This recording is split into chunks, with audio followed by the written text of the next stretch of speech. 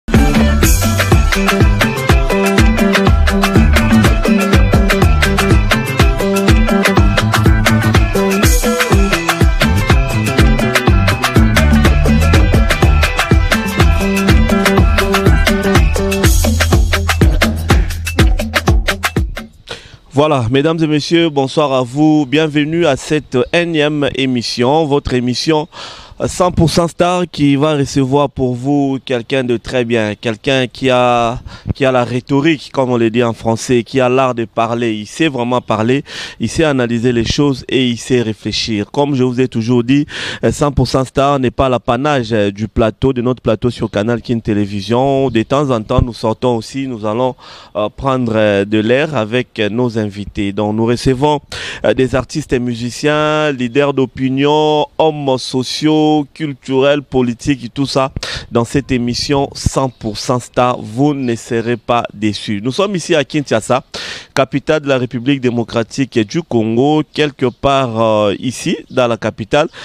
où nous sommes en train d'enregistrer cette émission avec l'invité de ce soir. Merci à Freddy Takidi qui me prend des images. Merci à Sriol Mampouya qui m'accompagne. Merci à Patti Sumbu qui va mettre cette émission sur notre chaîne YouTube. Merci également à Tony Binda qui va monter cette émission, Samson Ilunga, je n'oublie pas également. Chaque samedi, nous sommes avec vous dans le cadre de cette émission. Nous recevons l'invité, nous parlons avec lui trois quarts d'heure, en tout cas de bonne envergure, vous ne serez pas déçus. Je m'avais déjà vous présenter mon invité de ce soir. Il s'appelle Bogis Bompema, une figure de proue de notre pays, le Congo. Il n'est plus à présenter. En tout cas, il est ici à Kinshasa. Désormais, il vit en Europe, mais ces derniers temps, il est à Kinshasa pour des raisons personnelles. On va essayer de savoir un peu plus par rapport à nos différentes suggestions ou différentes questions que nous allons lui poser. Bonsoir Bogis. Oui, bonsoir euh, Fabrice. Kimi ezali? Kimi ezali par la grâce de Dieu. Par la grâce de Dieu toujours. Comment Nzambe na munoko no tika raté. Nani aleki ye to nani asazui place na ye po to tika ye. Hmm. Po mutu mo aza sauveur à mutu te, sauveur à mutu ezaka Nzambe. Hmm. Na mokili ya lelo na temps au monde yo traverser. Soko oza mwana Nzambe te to linga Nzambe to za nani. Bon na sala impression te que Tolingaka Nzambe po biso tosalaka neti ke biso mutu topona Nzambe, Nzambe mutu apona biso. Nzambe mutu alingaka biso po so alingaki biso te lelo ntango mosusu toya mikuwa kwa mm. très bien merci beaucoup bogis bompe moza na kisasa tokoloba okoma okoma diaspora on peut dire ça Bon, nayebi te ndenge yo omonela mais nazala lisusu awa te nakoma ofana na poto okoma ovanda na poto pour des raisons personnelles oza na kinshasa mpe pour des raisons personnelles comme je l'ai dit poto naza na mwasi na bana kuna mm. naza responsable marie mobala minette simbu mm. mère de cinq enfants bogis père de cinq enfants Donc euh, c'est ça quoi. Mm. Très bien. Na Kinshasa pour des raisons de famille, kaka oyo kotala ba ndeko, ba famille ou bien Wana ka ndongo lobi ma raison personnelle, mm. privée quoi. Privé. Très bien. Alors, Bogis Bompema okenda poto. Bane ko zanga sur na mutute, je sais que tu as même pris du temps. Oye, d'abord constat nini sur le plan congolais, sur le plan humain, au Sali par rapport à nos monimboga no Congo, plus particulièrement ta capitale Kinshasa. ya liboso na remercier grand dieu aza maître ya batemp mpe bacirconstance tolalaki bibemba alamusi biso na mawa na ye kumisama jésus christ na leve na eleve yo koleka nyonso opesi biso makasi ya komarche likolo ya baserpent bascorpion sur toute les puissances de l'ennemi mpe ekosala biso eloko te nalobi merci seigneur jésus christ amen très bien amen donc euh, oyo nakoki koloba ezali important yalike constat na sali nde na ye eza kaka tobunda na likambo ya changement de mentalité donc soki nanu to, to, to changer mentalité na biso te ozala mobulu bisika nyonso tu oyo mokili edeveloppe oyo bato basepanouir ezowuta liboso na mentalité mentalité nini eza kati na biso donc ozomona na nzela natikaki na ba 2014 avant na voyage mm. donc natikaki ke moto azoya bozoya na nzela okotikela mpe moninga place alinga kota donc embouteillage mosusu ezali ba awa embouteillage mais ata bopusana liboso embouteillage eza te mpo ka chauffeur moko azosala bizeti mpo ka chauffeur moko azosolola na camarade moko na nzela azo rendre compte te ke bato mosusu bazali nzela moko ya boye botie 40 bande Donc soki ba mentalite na biso, mentalite wana ya mabe wana eza na ba domaine presque nyonso ya biso. Donc soki mentalite wana echange te tozala na mobulu. Parce que nyonso te ezo se passer na mutu. Donc na culture, na civilisation, na mentalite. Mais quelle sorte ya type ya mentalite toza nango? Toza ba genre ya batu ya lolenge nini? Ezo sala neti ke ba mboka misusu basalaki yango avant Congo RDC basalaki yango après. Nzoka nde biso tout toali meme école, meme classe, meme banc de l'école tofandaki mais baninga ba mboka ebele ba progresser. Omona kala ezalaki taxi ekozwa yo kotiko tina adresse wana mais lelo taximan moko te ayebi susu ba avenue. Ole to avancer tozonga nsima makambo eza ebele problème ya mentalité na biso. Mutema mabe na biso eleki ya makasi donc ba constat na sali yango wana. Mais sur le plan quand même euh, euh constitution en boka parce que j'ose croire tango yo kendeki président actuel a une bonne bokonzi te mais tango yo il y a quand même une différence nde boyokaka na poto na ba réalité vivre sur terrain. Non euh, différence eza ya makasi liboso kaka mpo na kotonga te liboso kaka mpo na kolia te mais bomoi ya moto eza sacré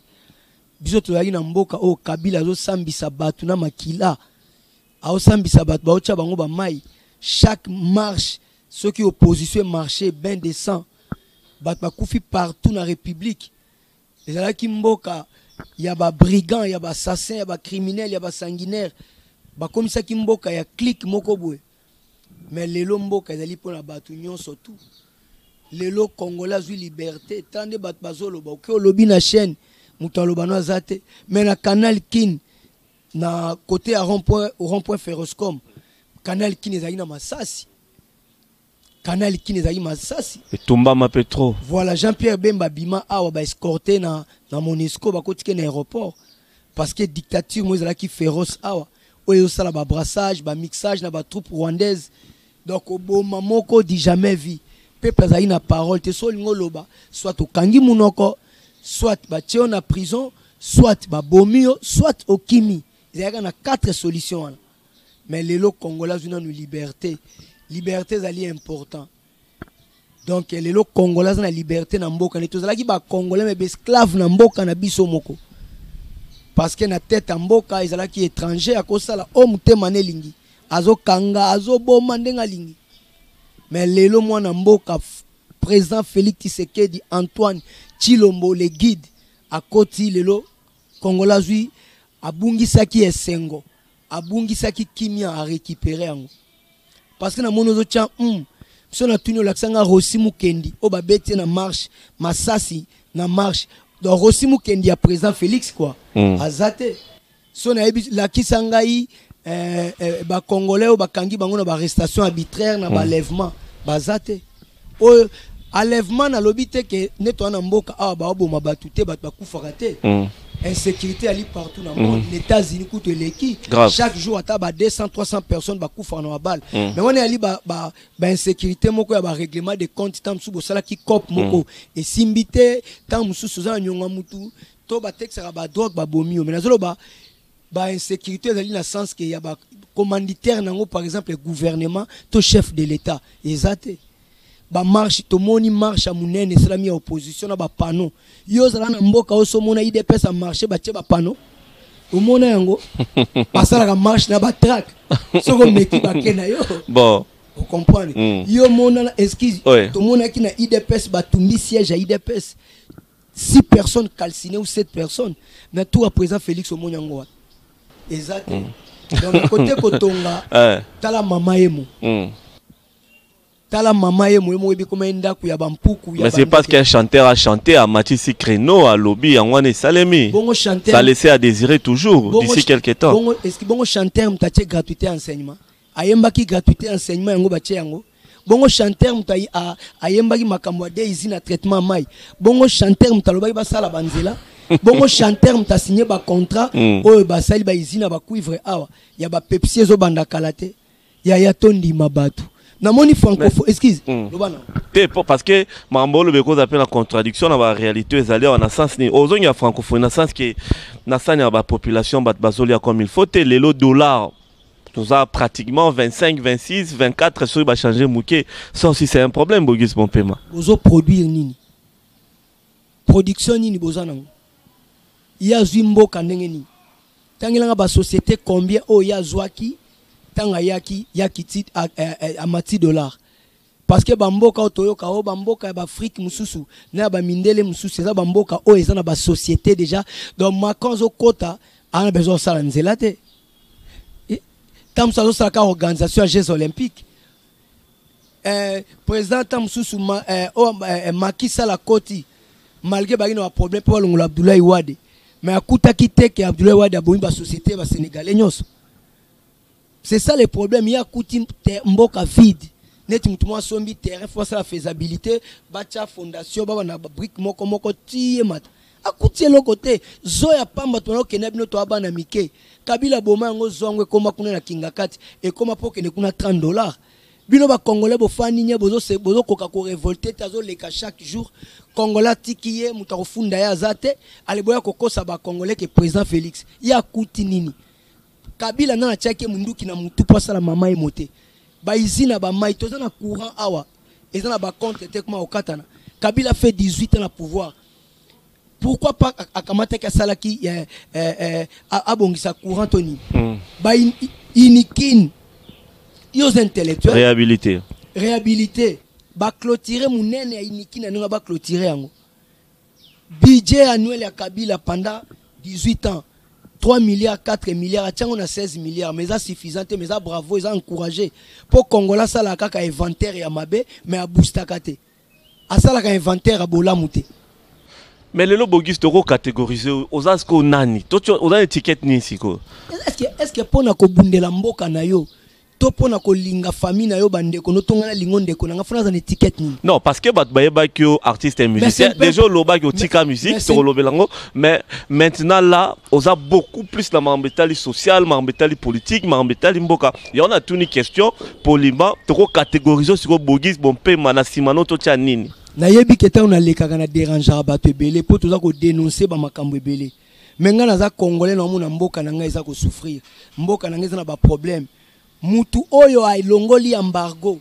mutu oyo azalaki ava tosuma minduki fo tolakisa mindele mutu oyo atie bagratuité ya enseignement mpo na famille moko te oyo nazwi famille oyo en charge na futa bango minerval matiango na république mobimba asali baizine mama akoti bacourant ba na bagemene na balibenge mutu oyo asali bongo mutu ya ndenge wana oza si bozolinga To tia ye cas lia passe te azala president te tozwa bato ba contre mboka mais quel paradoxe et puis ndenge nini ezo déranger bato ke mm, nga naza na casquette nini bogis okomi na casquette nini mpo na obundela congo fo oza na casquette nini baviole ba garçon moko teo na france namoni françois hollande aye kotala ye mais marche ya bacongolais esalamaki namoni tiram oyo ya français oyo lilian tiram lilian tiram voilà mm. oyo atya demi finale na contre croatie mm, na 98 voilà namoni ye aye na kosoutenir bacongolais mpo aza noir soki tirama ye mpo na kosoutenir bacongolais acombien nga congolais fo naza na souci ya mboka na nga koleka tirama namoni yusundur oyo naza tala poussière na ye te asalie na makisal mpo na kotelemela abdoulaye wade mboka na bango ezokende mabe mpo na nini biso te biso kaka kobanga biso kaka kobanga na force motu te Mais biso toa na combat ya ne pas peur. Batu nyonso bakufa na mokili to bakufi lelo to lobi, bango bakufi na même malade te na cause moko te. Mais mpo na changement ya mboka toza prêt na à tout mpo mboka fait changer. Na peso exemple, mm. biso da toa sacrifier. Génération, génération sacrifier. Bon, mais to vivre vraiment ndenge vie esengi te ba classe ba cycle ya ba classe normale te kolia ya mobulu eh, vie ya pasi ba classe ya malonga ya malonga te makambo tu ya mobulu mboka chaque fois ba régime ekotaka ezalaka ba régime moko eh, sélective tomonaka makambo atie gratuité ya enseignement mpo na biso tu na barégime oyo oh. sikoyo lobi yaya bana na biso tokotikela bango mboka na eta nini biso toya bagene mais ba jeune yango ya ki papa déjà posi to dépasser ba 50 mais quel avenir pour la jeunesse parce que ressources ya solo to richesse ya solo ya mboka eza richesse minière te ezali ba jeune yali jeunesse tokopesa bavaleur nini tokotransforme na jeunesse quel avenir mpo na jeunesse na biso batonga mboka na bampaka te na mikolo jeunesse deja yali crucifie mingi batangi bien te misusu batangi te tala armée mobimba oyo toza nango baobenga bakuluna quel avenir sikoyo tokanga maboko tobetela kabila na ruberwa maboko tokanga maboko tobetela katumbi na fayulu maboko non non biso fo tosoutenir notre frère président félix tisekedi antoine chilombo le guide ntango otuni nga casquette nabomaka nzoto na barcelone barcelone eyebi nga nabomaka nzoto na vita ya club eyebi nga oyebi combien de bambongo na ngai natya mpo na messi omona mwana na ngai na ndako alenga la mpo ya mta mm. real mm. bosoka combien mpo nasala yango na congo mpo barcelone ese ebonga eza na baligue de champion eza na mamutu mais congo nano ebongi te il faut tobunda mpo na congo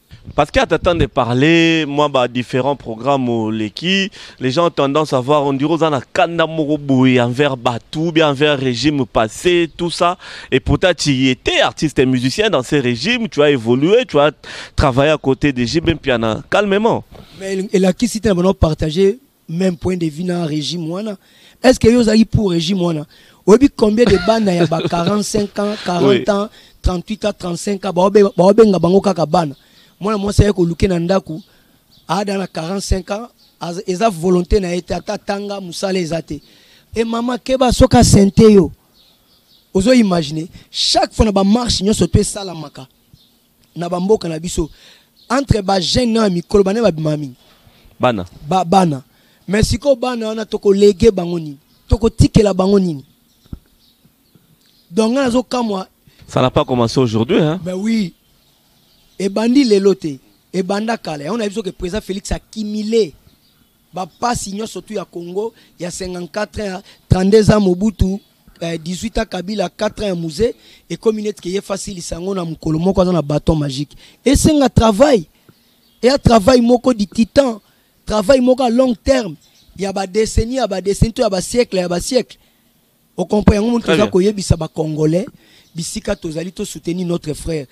Est-ce que pona maman na bino Aza malade ata oza vehicule te mpo mema ye na hopital esenga condition mwana noso akwei na mai mpo kono bimisa ye folata chambriere condition eza te congo eza papa na biso mama na biso eza congo rdc soki yo ozoyoka soni ya kobundela congo biso toza na soni te tokobundela congo ti na suka tokobundela congo ti na suka c'est très bien ntango okendeki poto on dirait okomaki mpe na casquette ya kicombattant c'est pas soki ezalaka kaka ou bien mais naza combattant mais combattant ozo, ozo, ozo, oza pour, uh, pour les régimes oza combattant mais bon combattant eza mpona poto te bata poto kuna bacombattant mais tu combat quoi bopema combat, combat eza mpona mpona poto te combat eza awa ebanda awa na idps na lidps place combat ebanda donc nazalaki combattant mais mhm. nasutenaka idps nasutena papa etienne tisekedi ntango akufi tokomosuteni président félix tisekedi mais est ce que eza genre ya combat ozo mene eza genre ya combat mpe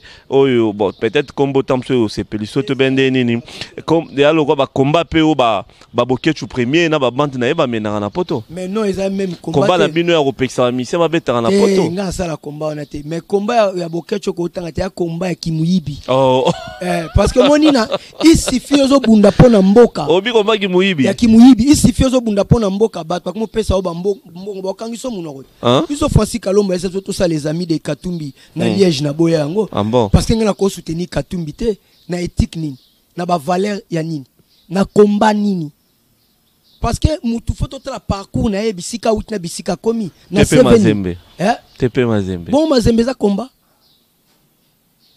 mazembe eza combat te combat te mais il a dirigé mazembe toyebi babiloko wana ezali euh, d'abord parce que diriger tout un pays eza lokola odirige ndako na yo wana hein. ozoparle c'est divertissement wana ezali loisir eza ba problème moko ya ba priorité te to eh, eh, préoccupation to toza nango okay, très bien eza ba loisir ba galerie ah, boketchu combat muyibi encore eza muyibi combat ya muyibi parce que combat mona ndenge nini pesa nga mbongo na obwakela ngo ngunda exemple nakoloba biloko wana ba média te mpona bato mosusu kua comprendre mais eza combat ya bavaleur te omona baninga bayokani ke concert ebeta na poto te wana baclike na bango nga na participaka te mais ye omona producteur mwa ye apesi ye mbongo Comment Oyo ko- beta. ko- yo kanti comment mo meza ya kofinga même soki ngai naza contre bato mosusu Mm. naza na droit kofinga bango te naza parent bango mpe baza parent baza na bana tobunda komba ya baide mpo totonga mboka ma ya bainsulte te est ce que françois mitterrand na chirac basalaki opposition na france mpo na koboma france est ce que J- marie le pen to jean marie le pen na chirac Jean-Marie Le, Jean -Marie Le Pen, papa ya Marie Le Pen, est-ce que basalaki mpona kokwesa France Moi, ne Marie Le Pen na Macron bakutani eza mpona kokwesa France Non, il y a ba idée baye na basecteur nyonso tuna badebat contradictoire est ce que bokechuk lola kosa débat contradictoire abengaka eloko mo oyo toba babengaka kala oyebi enote eh. na pharmacie oui, oui, je connais ye abengaka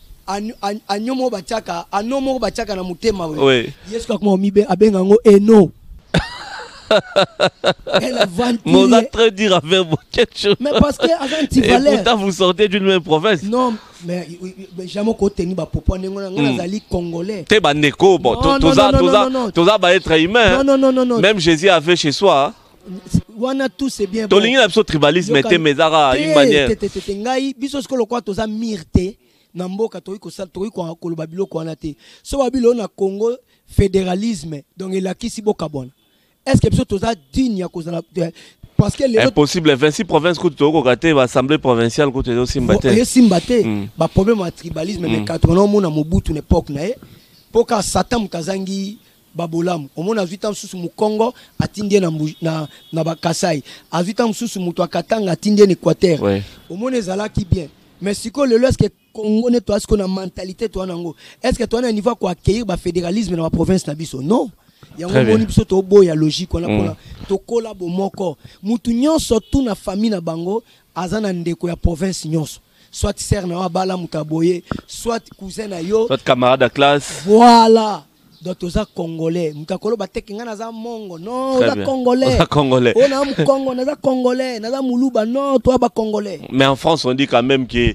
yaza breton yaza alsacien yaza bourguignon ba... ça se dit quand même merci bacomparaison wana eza bien te parce que eza bameme pays te bameme civilisation te bameme culture te bango badémocratie epusani tozali na bango meme école meme classe meme banc bango ba mais bango bakeyi parce que biso toza toujours na ba raisonnement ya kidiba ocomprendre donc toko compare te mais malgré tout bongo oyebaki oyokaka ezotoka chaque jour racisme Ouais, racisme ezangaka ezali te. ezangaka te Mm, très bien. Merci beaucoup, Bogus Bempema. Mesdames et messieurs, nous sommes dans votre émission 100% Star qui reçoit pour vous aujourd'hui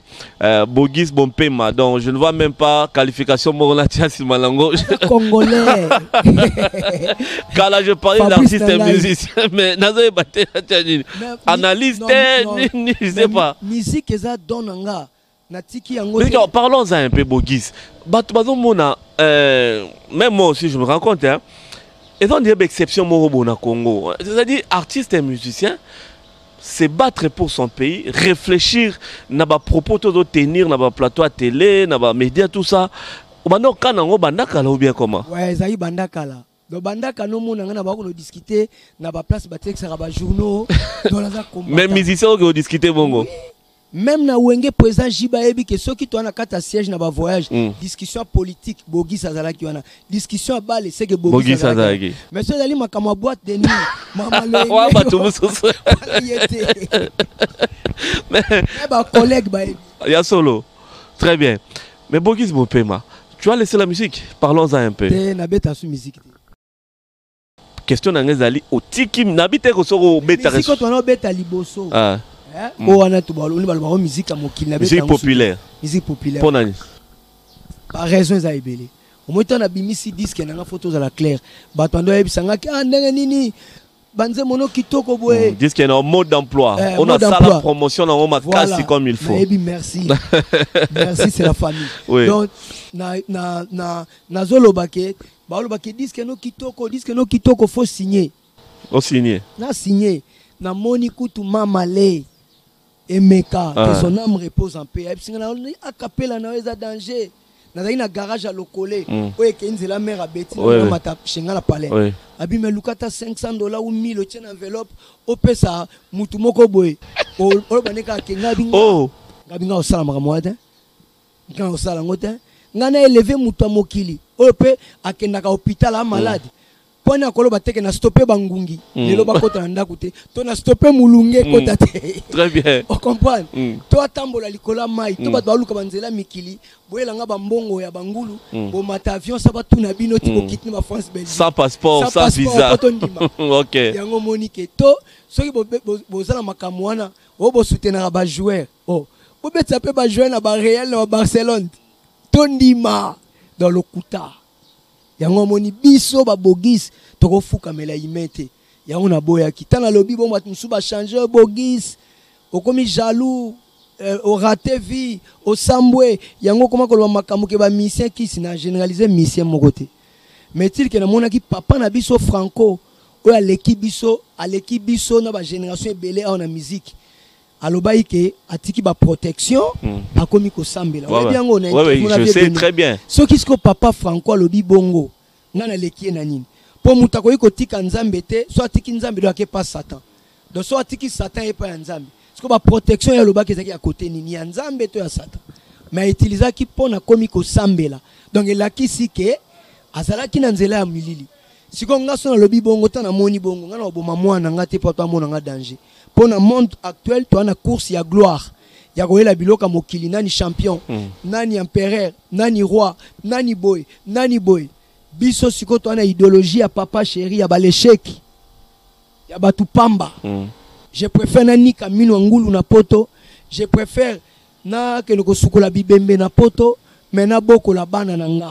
Parce que Mundela oui. sala que il y a Très pas bien. de sommet. Merci beaucoup. Ça veut dire que qui s'y peut dans la musique hein? Ya ya Satan zali to mona biso to fani magicien to mona David Copperfield aotia ba carte aokota na ba shita nyangano ya mira ya Chine Comment mutu akoki ko discuter aloba lelo kisi eza te soki yo ozo osala osalelaka kisi te mokolo bateka eza te toza na ba ecole tomona magicien aye otelemi bo abimisi pigeon na nzoto no batie pigeon te nzambe mutu ayebisi asala bongo kisi ezali mais sikoyo ça dépend ya croyance ya mutu na mutu mpo vie excuse Oui. naloba likambo très important vie na biso ezo dépendre na croyance Vie ya mutu nionso to a reussir na vie eza na croyance. Soit a reussir na classe na ye, soit na bale na ye, na ma musique, na makambu na ye. O comprendre?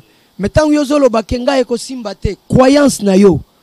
O comp croyance eza très très important. Donc mutu nionso to a reussir vie eza par rapport ya croyance tel. Soki yo okwaka na kisi te mais yeba que batu mususu Mususu. ba okwaka na kisi. Batu mususu baza ko bloquer batu, baza ko freiner batu, baza ko changer ba destin ya batu soki oza kidiba. Ndenge nini Pharaon amonaki etoile ebimi na likolo. Amonaki yango na etoile na ndenge ya Nzambe, na ndenge ya mystique, mpo na bamage. Mystique eza partout. Mais mutu na mutu ayebi biso toa bana ya Yesu, mystique moko te eza na contrôle na nga. Parce que la Bible nous dit tango Jésus asekwi alobi pouvoir nyonso te epesameli ye na likolo mpe na se. alobi aza kati na biso aza plus fort que aza na mokili alobi si dieu pour nous qui sera contre nous alobi apesi biso pouvoir na ligue 10 19 ya omarche likolo ya baserpent bascorpion si toutes les puissances de l'ennemi eloko moko eganye biso te yango omoni jamais toza na mboka na biso awa chaque jour tolobaka kaka bademon bademon bademon Ça veut dire to bangisa batu tozo yeba te que ezali pouvoir ya langue. Vie na biso eza na langue. Tango za ko confesser bonheur bonheur okozwa. Tango zolo ba malheur malheur oko malheur pe boya. Donc il faut ça toujours positif. Mais le roi musique ezalaki pe passion na yo ezalaki pe don. Nzambe pa pesa ki on peut le dire ainsi. Oko betango pe sans que Ata ba propose oboya ko beta musique normal classique tout ça parce que bat bala besoin voix na yo bat bala besoin ba texte na yo. No yembela ya Yesu. Ah. Eh, no yembela Yesu. Donc tolo ba o se converti ça. Mais oui na mwana Nzambe. Na mwana. Otiki musique populaire. Ouais, biso to yembela ya Yesu. Est-ce que ngai aleki Mike Kalambay na mboka o? Oh? naleki pasteur mbiye na mboka ba pe na public ya danger landaka bango nga lela ba nzembo neti ya ba trina wana danger toumelaki kati ya molili tala yesu aye na pole na ye mobali ya nguya motema malamu bogis mompema nakanisi mbaa moko ba eh, omoni ete ofandi awa nakanisi baelegi baelegi ezali badoleance ezali hmm. me ya yesu aleki yango na mboka oyo tofai tomoni papa oyo mbakwe na podium akei na mboka oyo tomoni pepe kala alalaki alamuki te akei na mboka oyo tomoni michael jackson na mokili azobondela docteur tubanga seng tonga nalala On a vecu ça ici na mokili oyo il faut pas tozala na boule ya kokanisa neti ke biloko wana eza danger wana eza ba gloire jesus auti o multiplier mapa ba juif balandi ye bayebisi ye koma roi d'israel ye ayaki te azala roi d'israel bible elobi ase detacha eloko ya makasi faut boya gloire Yango omoni tango bato baza na ba conquerance kowelela gloire soki boza na Nzambe te oblige fo bokota ba bisika ya mabe po oza na besoin ko prouver bamona yo ngai lokola namoni pondu ya sika te ngombe ya sika te ngulu ya sika te fufu ya sika te loso ya sika te pongi ya sika te naza à l'aise Parce que yebisa nga pondu nini to madesu ya sika oyo Nzambe asali oyo nga no tokolia te. Oyo Chirac oyo Macron azolia biso tokolia te. Oyo président Félix azolia pondu ya sika biso tokolia te. Na bien bogis otanga mingi ba livre hein? ou bien otanga la Bible mingi parce que ba raisonnement na ezali je ne sais pas comment dire, je sais pas. Eh, raisonnement na ezali. Eza makasi trop. Mais faut to réfléchir parce que ba ke mayele mtengengisa mokili. biso toa bato tofanda ntongo midi mais bamosusu bakoloba pourquoi okendeki na makambo ya musique pendant oza na baréflexion ya modèle oyo on dira quoi yaya paul ye moto akoma katikati ya, ya nouveau testament mm. église oyo toa nango lelo eza paul ke paul alobaki boye na corinthien paul atindaki lettre na galate paul atindaki lettre boye mais awutaki liboso nano mobomi bachrétien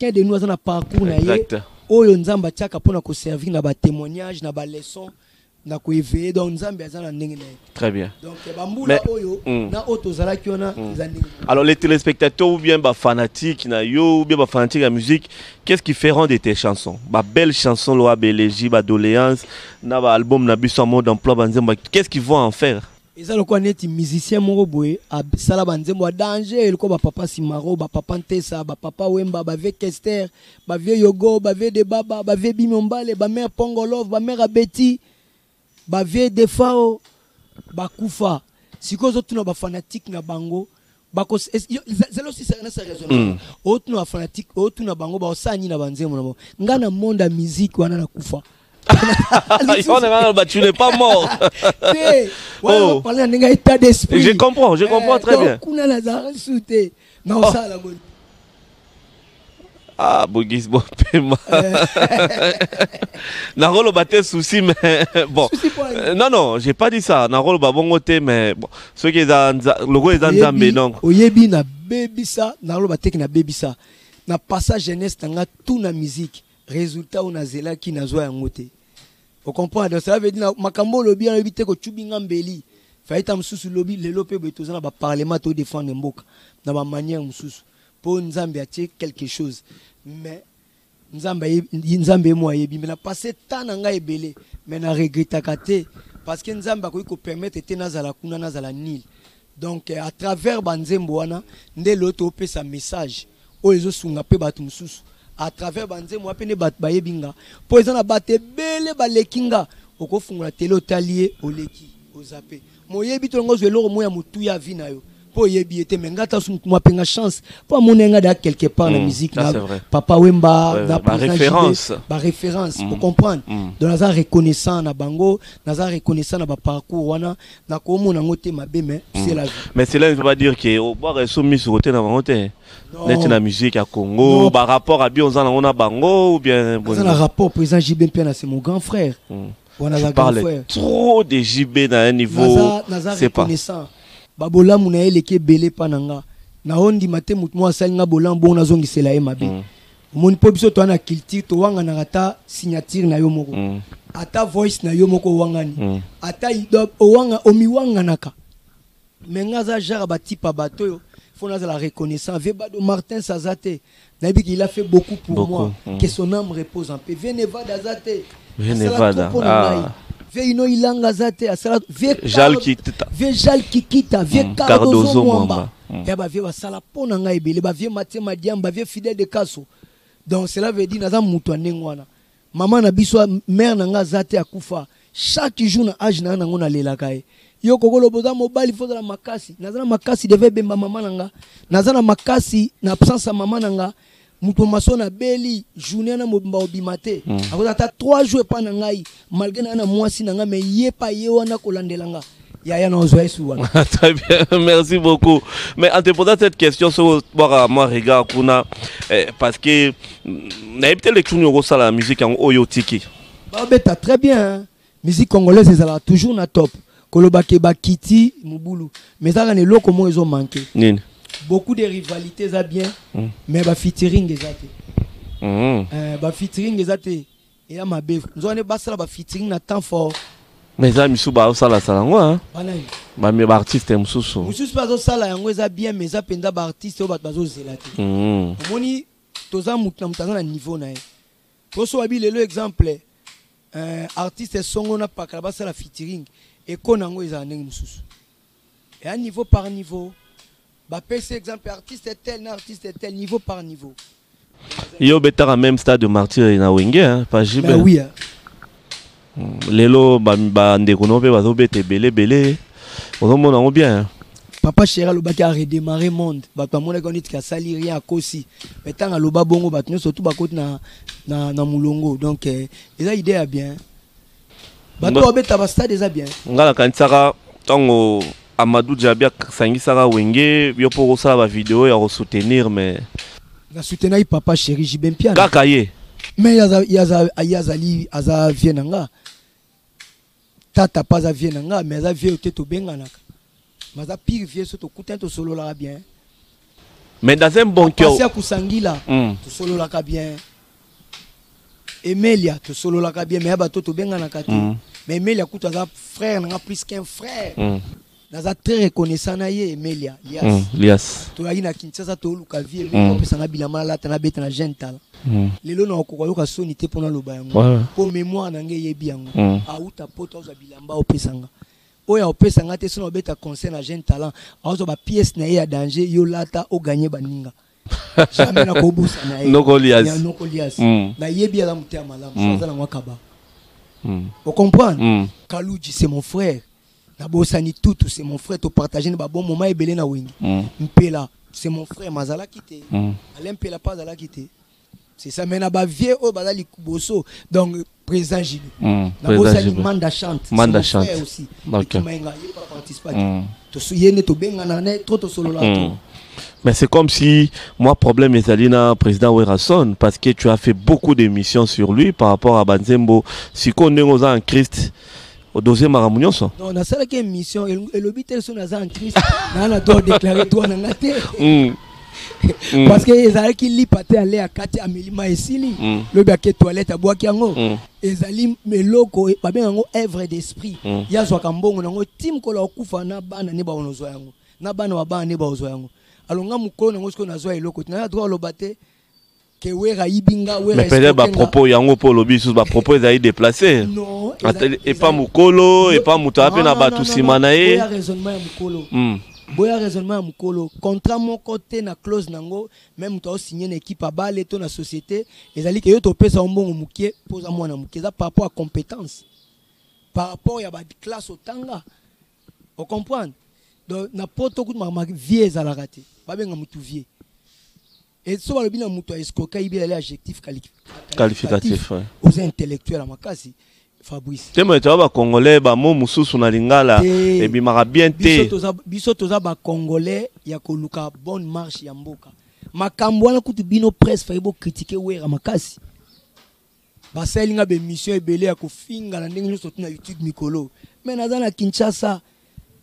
Wera lokola ayebi ke nga nazo lutter mpo na atteinte à personnalité na funda nga. A prouver qu'innocence na ye. Omoni te ke ebimisa ye mabe. Ebimisa Wera rien parce que yo oza Wera oyebi ke mutu moko azo leka na TV azo loba kombo no na ndenge ya mabe. Mpo soki mutu alobi oyiba ye, yo faut prouver ke ayiba oyiba ye te.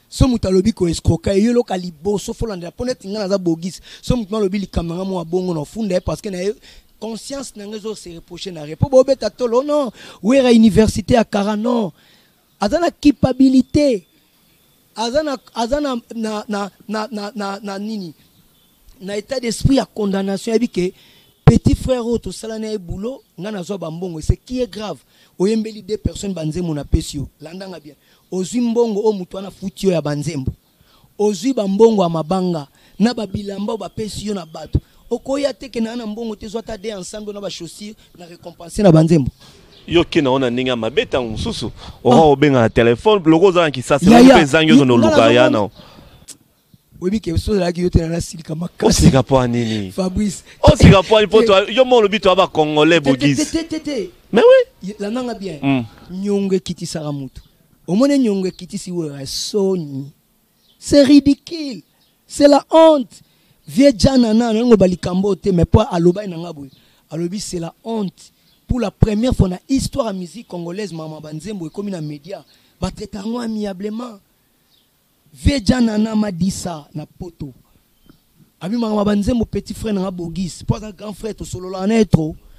na sens ya bien baza na experience na domaine oyo tozala oyo nazalaki donc na sens que so ozwi eloko ya mutu ntango oyoki kutu asali bruit ngai fo nabenga ye to ye motu fo abenga nga naza yuma te yo ozwa ngai na liste ya bayuma ngai naza yuma te okoma en christ eh, kutu esprit en christ ali esprit ya verité bible bible ezoboya makambo ya, ya motu moko boye ya kobanga bible elingi verité jésus azoloba verité Batu, pilate atuni jésus oza mwana nzambe yo oyebi réponse ne alobi so olobi yango oh donc esi olobi dayake na amona nze esprit ya nzambe eza esprit ya verité eza esprit tozwaki te mpo na kobanga mm. non ok merci beaucoup nazotuna no question moko ya likolo ya likambo yango bon nayebi te so basi batuna yango déjà ou bien réaction nde kozala nde nini est ce que mentor na yo papa chéri jb mpiana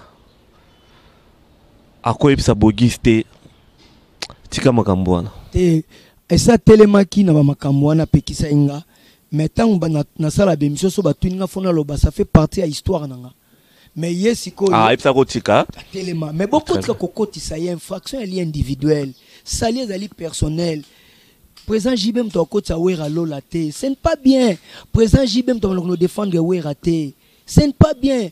Quel, quel amalgame likambo ya wera bokoti présent JB. Donc ma problème tout wera azala nango na vie ne faut présent JB ke na kopekisa bato bo bomele ba moto. Non.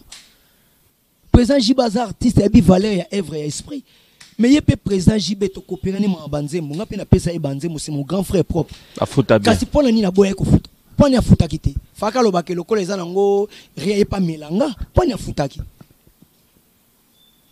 nga naza na ba parolier mosusu na solola na bango ba travail na président JB ayesaka grâce à président JB nde nasombi temps mosusu eloko boye nde nasombi temps mosusu eloko boye donc moni ke bato wana ba travaillaki na ye baza na ba souvenir ke nakoma na eloko boye à travers président JB Mais pona nini Wera kofuta te ebimisa Wera mabe ozangi pe mbongo te okomi soko kotinda bato ba menance bogis okomi kotinda bato bafinga bogis yaya ata bofingi nga ndenge niyeba ke change nga na menance yo nga moto akomenase nga te yo kongo mais parce que tu l'as dit po toyokaki mpe mwa babruit moko boye na plateau moko ya television nga sikoyo na congolais ndenge oyebi mpe na nga naza opimbwa Donc ça vient au bon, on m'appelle Jésus dans l'église, n'a pas dit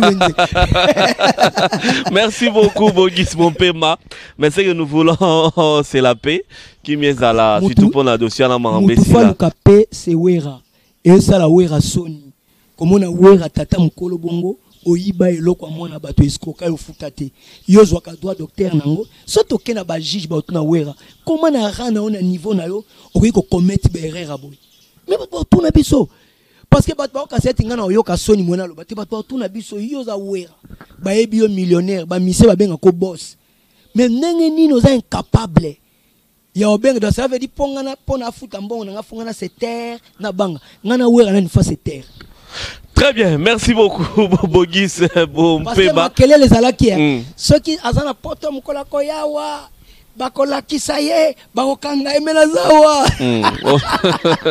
je suis ici naza wa ok merci beaucoup en tout cas tout ce qu'on veut c'est c'est la paix parce que werrason aza motu monene yo mpo oza motu monene na ndenge na yo makambo eleka motu monene na ndenge ya bien non non non bon. excuse excuse mais motu monene fazala na éthique motu monene fazala na éthique Quel exemple azo pesa ya za leader d'opinion munene exemple ni azo pesa na jeunesse bana mike bazo zwa banzembo bazo futa facile oyo kutu baza na vie oyo aza nango te koma banda ba 91 ti lelo na kutu aboti mwana liboso te akofuta mbongo na te afuta c'est ridicule pona wera Bosala b'emission bofinga ngai naza na problème ya mutu moko te naza na problème na werra nga bokofinga nga ndenge tout batu bayebi ke nga nasi na sambwa mais nga werra mais toza ba africain respect pe ça compte hein respect na nionga mutu yo ozwaka ba droit docteur chaque jour bafuta ko bambongo fin du mois ozozwa bambongo bookenda basokoda boozwa bambongo mbongo yango oyebi ke nzembo wana yo tya parole te ya yo te mais mokolo nzembo na otambola bato baoseke bogis mompema eh, yo mpe na sokoda yango ozali ozwaka mpe mpo bauti obisaka bambongo oti obimabima wa nawelela bilo ya mokili te mais ça va droit petit mais c'est bien bon yo landi ka ba droit oyo ya banzembo oyo ya yo ya structure officielle nalandaka ba makambo wana te parce que yaya Papa Emba atiki ba nzembo. Mm. Jackson atiki ba nzembo. Mais la famille Tamso a bénéficié nango. Ya ya Nzambe ayebi ndenge na aza ko promouvoir biso po tozwa ta mwa matembele. Ba biloko wana ya kolenga na lenga. Merci beaucoup. Bogis Bompema, tokomi pratiquement na suka, na pesi mbote na comment il s'appelle? Striol Mampuya, hmm, Sambuiso toujours Striol Mampuya. molobela bana lemba ba mbote ebele napesi mbote na fondation eh, polusi soka wera na bato nde bamoni nga wera kolela nakosuka wapi nakosuka wapi peco akoboma nga me yo kotika koma wera na monoko te afuta toki ya bato afuta Mais toi aussi, tu avais mis beaucoup de temps avant de réclamer. C'est un peu normal. Tu avais mis beaucoup de temps pour banda comme ça la émission. Oyebi, oyebi combien de personnes bat bazwa bana na bango ba fanta bango ba balate. taso après 15 à 20 ans baye obala oyebi combien régime oyo ezalaki na mboka oyo ya kabila ndenge wera s'implanta na position na ye ngai nafunda ye wapi ngai na pouvoir wana mais loko oza jiba aza mentor na yo fo oyoka ye quand même ndenge alobi eh, tika makambo wana merci beaucoup maurice lopeba voilà nous sommes pratiquement arrivé à la fin je vais laisser deux minutes a Bogus Bompema po penza abimisa eloko moko alingaka loba oyo natuni ye te j'espère que ça va vous faire du bien merci au président Osea Diallo liboso mai nsima mai bambote ebele liboso mbongo nsima mbongo Simon Ikamba trois fois boss trois fois patron trois fois président bambote ebele fondation Pulusi eka Hugues maître Hugues eka Pulusi pe napesi bambote ebele ebele alors Bogus peut-être lelo be lobi okozonga biso totikali kaka na mboka na biso na bapasi na bisengo na biso toza kaka bino partout pasi ezali kuna mpe eza makasi biloko emati ata oza na 100 200 okomi na supermarché emonana so te bongo ozomona te ke bato bapoto bazoyaluka misala awa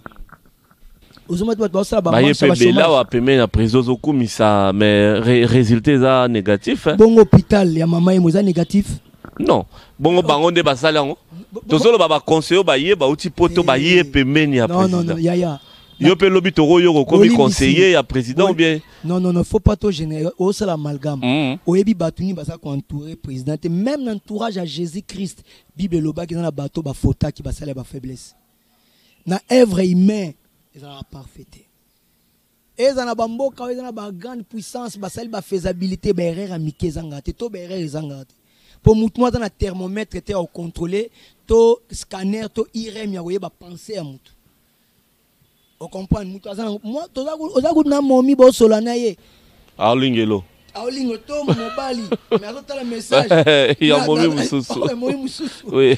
donc c'est- donc mutu acontrolaka makambo na kaka Nzambe. Dieu. Très bien. donc président félix eh, aza mutu mais to- totya baconseiller to gouvernement ndenge moko te eza na bagrand bosser bana so babendi osala mpe mpo na mboka tu es prêt à travailler na ba idee na yo na perspicacité na moni ba mayele mususu ebele pe libanda tokosala ngo pourquoi pas Très bien. Congolais. Merci beaucoup.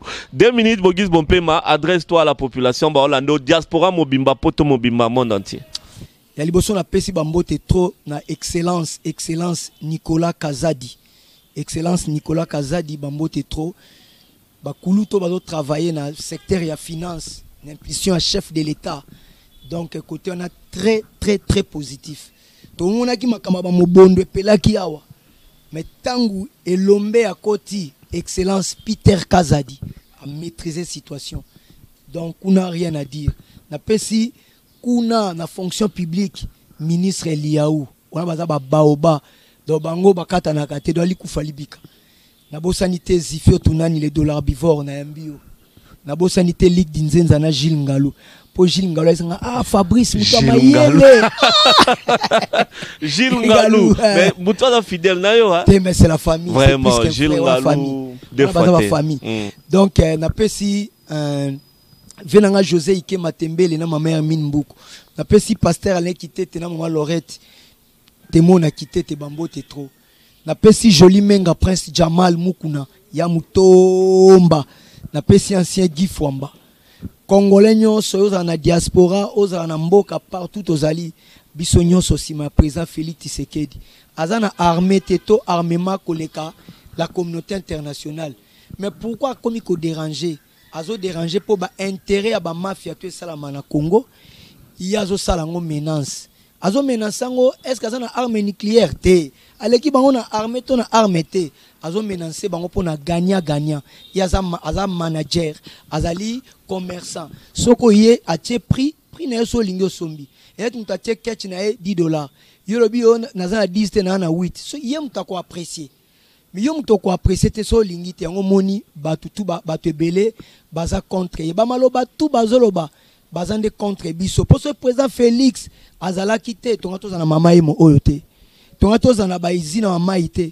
tonga tosala ba usine ya ba cuivre te tolingaki tosala ba usine ya ba or te Tolingi ba courant elingi ekota na ba, ba gemena ba libenge ba, ba, ba, ba, ba idiot fate bisika tozali biso tout to soutenir ye election ezoya topesa ye deuxième mandat tomonaki francophonie awa tomoni ba campus ndenge ekomi tomoni banzela ndenge ezosalama biso tout bisika tozali tozala nsima na ye c'est notre frère bato baza kobunda lelo na congo mpo bakoma bakonzi na congo baza bacongolais doutes so otali mukwenge mama papa na ye azali burundais soki otali katumbi papa na ye grec eh, eh, papa na ye grec italien juif mwasi na ye burundaise rwandaise donc soki akomi président maison civile eza na deux famille ezalaka ya kota mobali na mwasi donc tokokoma na barwandais lisusu ebele tokokoma na baitalien bajuif est ce que yo okoki kokende na maison civile ya, ya israel yo congolais o juif moko abala yo akoma, premier, akoma président kuna premier ministre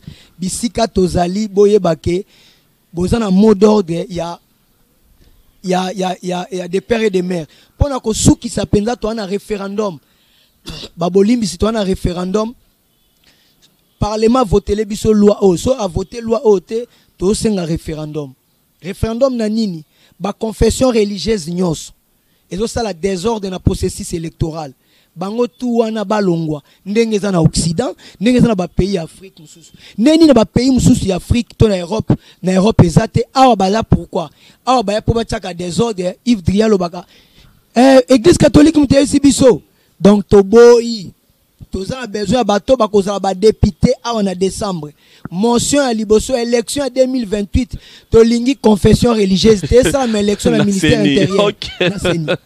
merci beaucoup bogis bompema ebele akoloba eza na yo mais tele eza ngonga on en peut rien oui, émission yo ndenge ekoleka na télévision bosse samedi lobi en tout cas déjà avant kutu eleka na télé ezo kota deja na chaîne na biso ya YouTube en tout cas monde entier ba omona ona ba page nyonso ya Facebook pona plaisir ya batu tout ba olanda biso soki nanu ozalaki nde ozalaki na ngai nasengo ata elegi ou bien oboyemba na pati pacheko nini fin du monde mais okoka te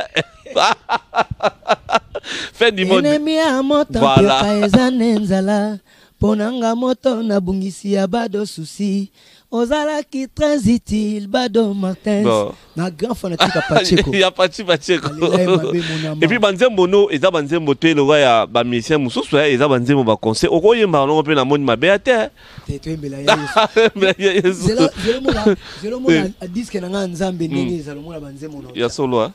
banzembo ya hmm. mystique esepelisa yo elamba toujours bogis eh, na nkolo ezangaka te jules ngalu te il faut naloba te nalobi kaka merci beaucoup mesdames et messieurs c'était la bogis mon pema vous suivez cette émission également ya kosakana te oyo naza koto yo naza koto yo ti toretrouve kaka Tenga ngai to sa emission libanda po trop de plateau ya rapé bien te libanda ça bien. Merci beaucoup. Mardi 16h30 rediffusion bozwa na ba page ebele ya ba Facebook oyo bolingaka pe bozwa na chaîne na biso YouTube Canal Kin TV. Merci beaucoup Bogis tomonani prochainement. Très bien.